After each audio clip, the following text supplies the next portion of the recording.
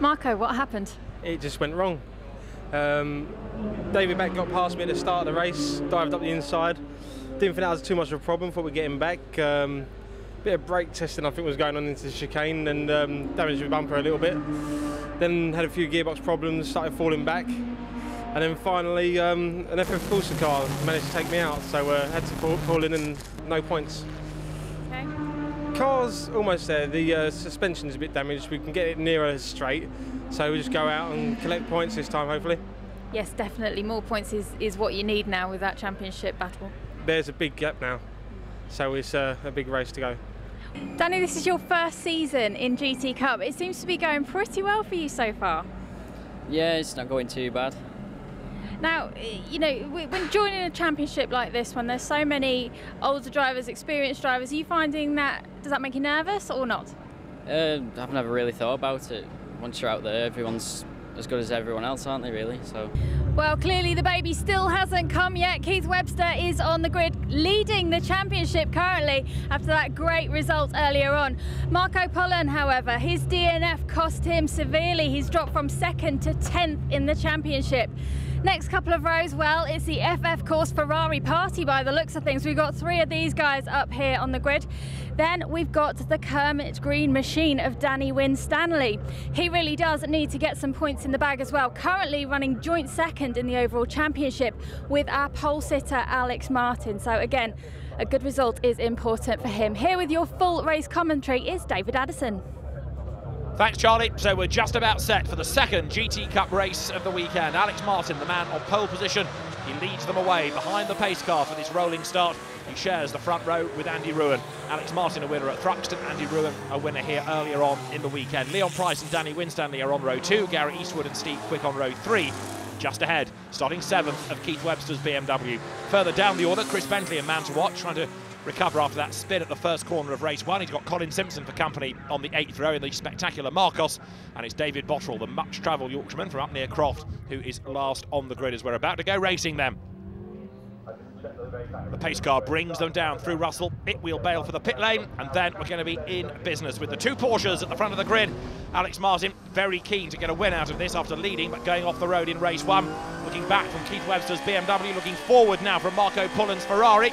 Marco, somebody else frustrated in race one when he was tapped off the road, but the lights that are red at the moment go out now. The second GT Cup race of the weekend gets underway, and it's a good start by Alex Martin from pole position, but Andy Ruin tries to stand his ground on the outside as they go through Riches for the first time. On board with Pullen, and looking back from Keith Webster's BMW, diving in towards Sear. Turning their way through the tight right-hander, Gary Eastwood in the black Ferrari losing out. Marco Pullen goes round the outside of him can see those new curbs put in on the outside of Sear Corner. If you keep repeatedly going behind them, you get a driving standards flag and then a drive-through penalty. Pullen losing out as launching himself up on the inside there was Gary Eastwood, and he's got himself ahead of the BMW of Keith Webster as well. Great bit of driving from Gary Eastwood, and now Pullen levels with Webster. Runs out of road, gets himself onto the curb and onto the dirt. Through the bomb hole for the first time. Looking back now from Webster's BMW, and you can see the two orange cars nose to tail there, look. Keith Webster's BM just ahead of Marco Pullen's Ferrari. Turning their way then for the first time through Coram Curve down towards Russell. And Alex Martin it is who leads the way. But there, second, getting better and better all the time, is Danny Winstanley with the TVR. And in third is the race one winner, Andy Ruin. Keith Webster still under huge pressure though here from Marco Pullen as they come across the line.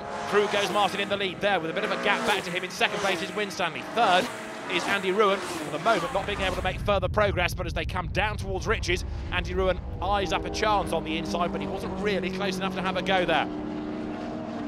Former Ferrari racer, now very rapid in Porsches, keeping at bay, indeed, the Ferrari opposition as they turn through Sear Corner. But the gap's down again between second and third, and there's no gap at all between Webster there in the BMW and Marco Pullen, who is right up behind him these two battling on track, battling as well within the championship. And this is Marco Pullen's view as they go down the Revett straight once more. Meantime, John Taylor there, number 42 Porsche, sandwiched between Porsche and KTM. The car trying to find a way past is Robert Koenig's 996 shape 911.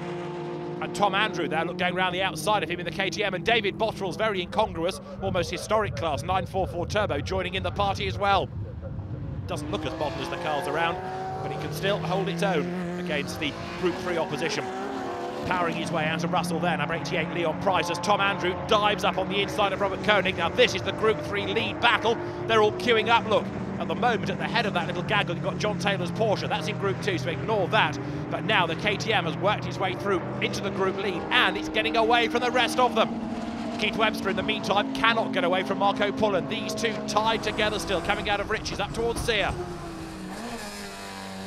Pullen goes down a gear, turns right, rides the curve on the inside of the corner, tries not to make the car run too far out wide on the exit of Sear. Repeated use of those curves gets you this driving standards flag and then a drive-through penalty if you're not careful. So Pullen, careful at Sear, now has an opportunity to look perhaps for the inside going into the Esses. He thought about it, then thought better of it as well. Turning into the left and then right-handed elements, these two tied together, and Webster almost being given a little hurry-up tap there by Marco Pullen ahead still. You've got the Ferraris running together, these of Leon Price, and then Gary Eastwood behind him. Keith Webster, they turn their way out of the bomb hole up towards Coram Curve, has just been able to extend that gap by a length or so. Marco Pullen is brave through Coram, though, and he closes right up again as they dive down towards Russell. The BMW able to work better at certain parts of the circuit, and another little nudge in the back there. Marco Pullen saying, come on, hurry up, I'm quicker than you, just get out of my way. They're level as they come over the line. They're almost leaning on each other. The mirrors almost clash. But as they go past the pits, it's still Keith Webster on the inside who's going to claim the place. I think, no, Marco Pullen goes around the outside. Fantastic move. Braked desperately late. He had the longer, slower line, but he made it work. And so Marco Pullen moves through ahead of Keith Webster. And that was a very brave bit of driving as Colin Simpson's Marcos here fends off the Venturi of Paul Cope, another rather elderly car that. You can trace the Venturi back to the mid-90s in the early days of the BPR Global GT Championship first championship Stefan Ratel rather was for the Gentleman Drivers Series in the Venturi, and this car of Paul Cope has been around the block many a year now. It has done an awful lot of racing, but Paul, a great enthusiast, is right there on the tail of Colin Simpson, and he's under pressure as well from the Michael Simons BMW that dives up on the inside, and the big BMW muscles its way alongside and then spins, round it goes. Michael Simons loses it, slithers off the road, and all of that I think was just braking too late going into Sear. The car was unsettled, he couldn't quite hang on to it, round went the back.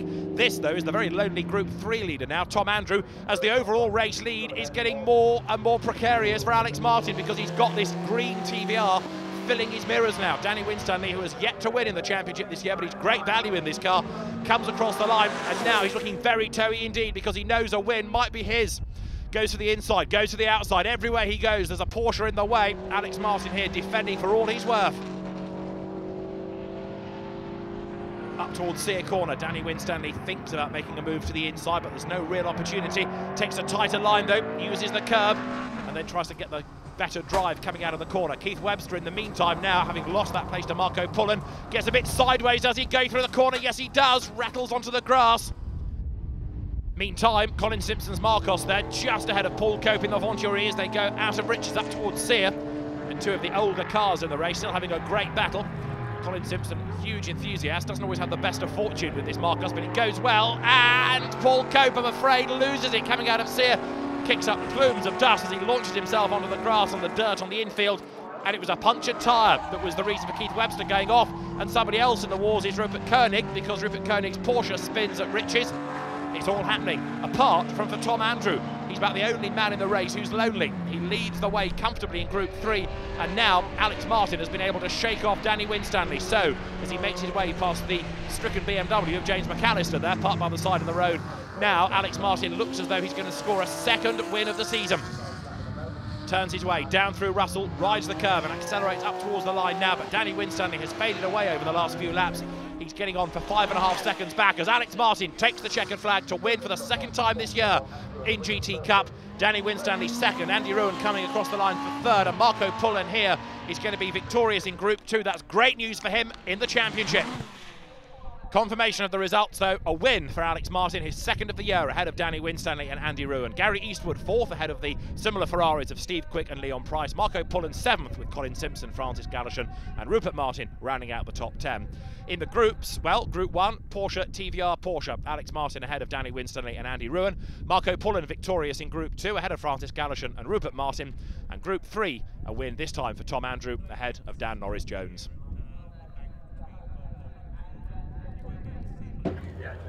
Well, congratulations, Alex. That definitely went more your way. Yeah, it did. Uh, no stupid mistakes this time. Yeah, I was really happy with that. But uh, Danny Winstanley was on your bumper the whole way. Yeah, he he uh, he kept me honest. That's for sure. It was about halfway through the race, had an engine splatter, and he just started getting closer and closer. And um, yeah, he's uh, he did a good job. He's a good driver. Very impressed. Marco, well, congratulations first of all. At the, the start of that race, you were having a really good battle with Keith. It was getting close. I thought it was going to be a, a, a repeat of the first race where I get edged onto the grass, but no, it was clean and um, just managed to, on the fourth lap, can't remember now, but managed to keep it in there and get past. Congratulations, Tom, your second group win in the GT Cup. Yeah, thanks very much. It's, uh, it's a bit of a lonely race, but I'm enjoying it. I love, uh, love winning. Hope to uh, bag some more before the end of the season. As far as the championship's concerned, Alex Martin has just a one point advantage now over Danny Winstanley in Group 1, with Gary Eastwood in third. Group 2 still being led by Keith Webster, Michael Dwayne second, and then the shared car of Colin and Sam Mole, the KTM, is third. And Tom Andrew heads the way in Group 3 ahead of Dan Norris Jones and David Bottrell. But as far as the overall situation is concerned, leaving Snetterton, it's Keith Webster in charge. Alex Martin second ahead of Winstanley and Mick Dwayne with the Moles fifth and Marco Pullen after his DNF in race one, only sixth ahead of Tom Andrew. Well, that was another couple of excellent races, as close as ever from the GT Cup. And that really does leave the championship wide open. So we're going to have to wait and see what happens next time when we'll be on the fabulous Grand Prix circuit at Brands Hatch.